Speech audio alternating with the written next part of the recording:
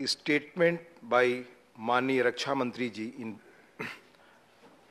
राज्यसभा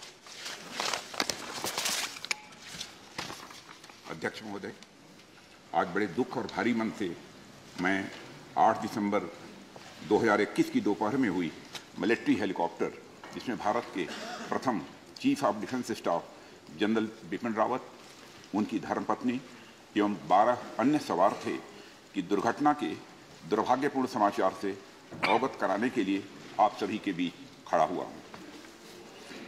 अध्यक्ष महोदय, general Bipin Rawat, defence services staff college Wellington के स्टूडेंट ऑफिसर से इंटरेक्ट करने के लिए अपने एक शेड्यूल्ड विज़िट पर थे। एयरफोर्स के M I seventeen V five helicopter ने कल ग्यारह बजकर अड़तालीस मिनट पर सुलूर एयरवेज से अपनी उड़ान भरी। जिसे बारह बजकर पंद्रह मिनट पर वेलिंगटन में लैंड करना था। सुलूर एयरवेज के एयर ट्रैफ़िक कंट्रोल ने लगभग बारह बजकर आठ मिनट पर हेलीकॉप्टर से अपना कांटेक्ट खो दिया। बाद में कुनूर के पास जंगल में कुछ स्थानीय लोगों ने आग लगी हुई देखी। जब वे भागकर उस स्थान पर पहुँचे तो उन्होंने मिलिट्री हेलीकॉप्टर के अवशेष को आग की लपटों से घिरा हुआ देखा। स्थानीय प्रशासन से एक बचाव दल उस जगह पर पहुँचा। उन्होंने क्रैश साइट से सर्वाइवर्स को रिकवर करने का भी प्रयास किया। उस अवशेष से जितने भी लोगों को निकाला जा सका, उन सबको यथाशीघ्र वेलिंगटन के मिलिट्री हॉस्पिटल पहुँचाया गया। प्राप्त जानकारी के अनुसार, उस हेलीकॉप्टर में सवार कुल चौदह लोगों में से तेरह लोगों की मृत्यु हो गई। जिन लोगों की दुर्भाग्यपूर्ण मौतें हुई, उनमें चीफ ऑफ़ डिफेंस स्टाफ, उनकी धर्मपत्नी श्रीमती मधुलिका रावत, उनके रक्षा सलाहकार brigadier Lakhvinder Singh Lidder, staff officer lieutenant colonel Harjinder Singh और एयरफोर्स हेलीकॉप्टर क्रू समेत आर्म फोर्सेस के नौ अन्य लोग शामिल हैं।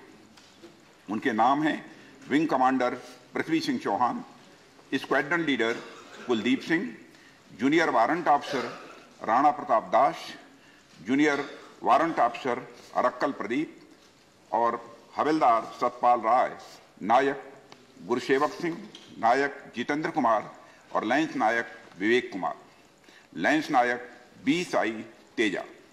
सभी पार्थिव शरीर को आज शाम तक इंडियन एयरफोर्स प्लेन से दिल्ली लाया जाएगा। Group captain Varun Singh Wellington के मिलिट्री हॉस्पिटल में लाइफ सपोर्ट पर हैं। और उन्हें बचाने के हर संभव प्रयास किए जा रहे हैं। Air chief marshal Shri V R Chaudhari को घटनास्थल पर दुर्घटना की सूचना प्राप्त होने पर कल ही भेज दिया गया है। उन्होंने घटनास्थल एवं वेलिंगटन हॉस्पिटल जाकर स्थिति का जायजा लिया। इस दुर्घटना के संबंध में इंडियन एयरफोर्स द्वारा एयर मार्शल मानवेंद्र सिंह की अध्यक्षता में एक ट्राई सर्विस इंक्वायरी के आदेश दे दिए गए हैं। इंक्वायरी टीम के अफसर कल ही वेलिंगटन पहुंचकर अपना कार्य प्रारंभ कर दिया है। चीफ ऑफ़ डिफेंस स्टाफ का अंतिम संस्कार फुल मिलिट्री ऑनर के साथ किया जाएगा और अन्य सभी मिलिट्री पर्सनल का अंतिम संस्कार भी अप्रोप्रिएट मिलिट्री ऑनर्स के साथ ही किया जाएगा। अध्यक्ष महोदय, मैं देश की ओर से सभी दिवंगत लोगों को श्रद्धांजलि अर्पित करता हूँ और उनके परिवारजनों के प्रति संवेदना भी व्यक्त करना।